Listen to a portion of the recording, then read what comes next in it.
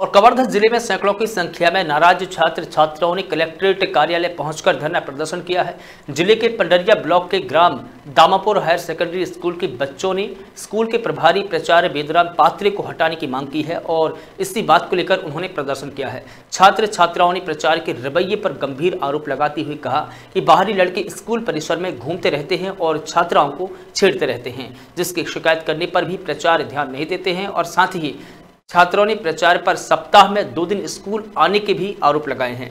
वहीं छात्रों ने कहा कि स्कूल में क्लास नहीं लग, लगती है जिसके चलते छात्र छात्राओं की पढ़ाई भी प्रभावित हो रही है। हालाँकि प्रचार का दूसरी जगह तबादला हो चुका है जिसके चलते अभी तक उनको रिलीव नहीं किया गया है।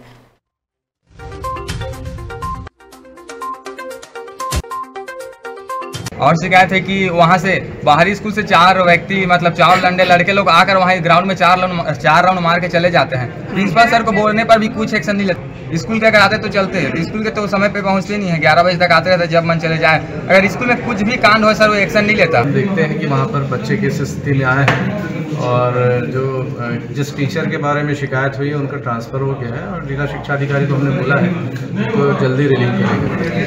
और साथ में वहाँ की पढ़ाई अच्छे स्तर की हो इसके लिए एक दो दिन में वहाँ अधिकारी जाएँगे और